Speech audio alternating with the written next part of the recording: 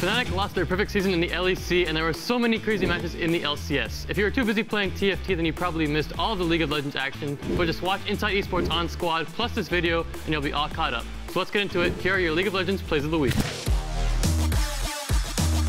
CuVee and Sword are doing battle. Cannon Barrage comes down. Hextech Ultimatum is going to be the trade here as CuVee's looking for it. Oh, the got flash! it! He picks up the kill and doesn't die to the Requiem! He held on to the oranges for just long enough.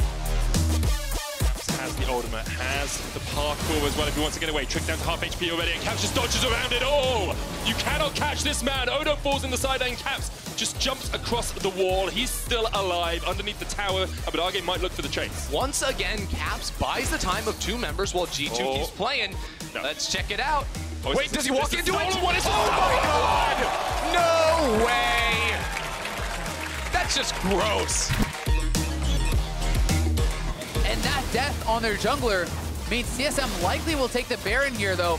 Cloud9 is moving over. They want to look to fight here. Siki healed up off the Grom. Zeyzal nearly getting one tap by the Varus. Nisqy's in some trouble. That's going to be Varus secure by the side of He's TSM.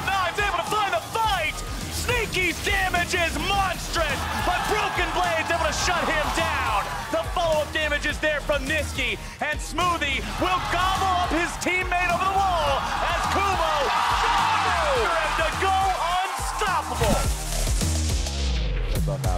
Yep, that's just such a good path. You go from uh, Raptors all the way to Krugs, gets you level 3, and you can decide to gank top or just get back with an item lead and go to your bot side. Oh, early ignite on top of Rookie. Rookie alert. Gotta wait for your flash. He's still gonna die. Early solo kill.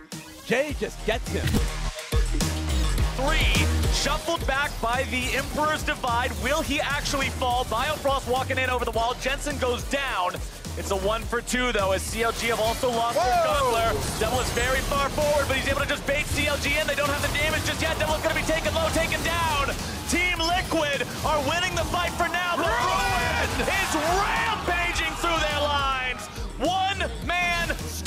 on the side of TL. Xmithy will try to get away. He buffers through the stun, but Ruin will follow. He needs a little bit more to chase this Jarvan down. The slow will stop him. There's the stun. There's the damage. Baron is gone. Ace CLG. Will influence the positioning, they're saying, all right, let's start it. One Mountain Drake.